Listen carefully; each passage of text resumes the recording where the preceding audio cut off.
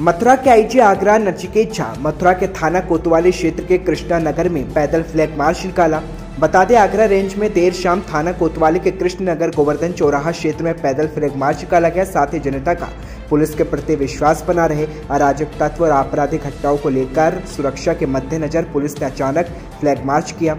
वहीं इस दौरान मथुरा पुलिस प्रशासन समेत वरिष्ठ पुलिस अधीक्षक डॉक्टर गौरव ग्रोवर भी मौजूद थे।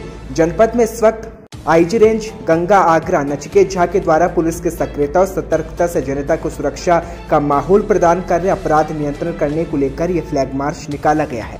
हर दिन की भांति आज भी मथुरा पुलिस के द्वारा पैदल गश्त किया गया। इसका उद्देश्य ये है कि ये मैसेज पहुंचाना कि पुलिस सक्रिय है, सतर्क है और लोगों के साथ पुलिस है। और अपराधी को भी हम यह संदेश पहुंचाना चाहते हैं कि पुलिस सतर्क है सक्रिय है और यदि कोई भी अपराध होता है उसके खिलाफ बहुत सख्त कार्रवाई किया जाएगा। जनपद मथुरा में कई क्राइम ऐसे हुए हैं जो खुल नहीं सके।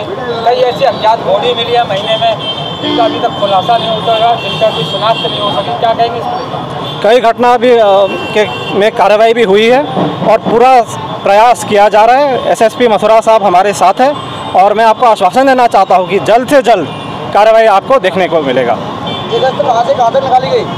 ये पूरा शहर है, क्षेत्र में निकाला गया और कृष्णा नगर क्षेत्र में। बच्चों को लेकर बहुत घटनाएँ हो रही हैं और माँ बाप डरते हैं बच्चों को बाहर भेजने से हम लोग इसके इस संदर्भ में बहुत ही ये संवेदनशील घटनाएँ हैं और गंभीरता से लेते हैं और इसमें सख्त से सख्त जो भी अपराधी है कार्रवाई किया जा रहा है। सर दिल्ली के बाद यहाँ मथुरा के आसपास के ज़िले सभी अलर्ट मोड पर हैं ऐसे में क्या कुछ कार्रवाइयाँ की जा रही हैं? नहीं हम लोग सब अलर्ट है। सक्रिय है और हम आपको आश्वासन देना चाहेंगे कि शांति व्यवस्था कायम रहेगा। सर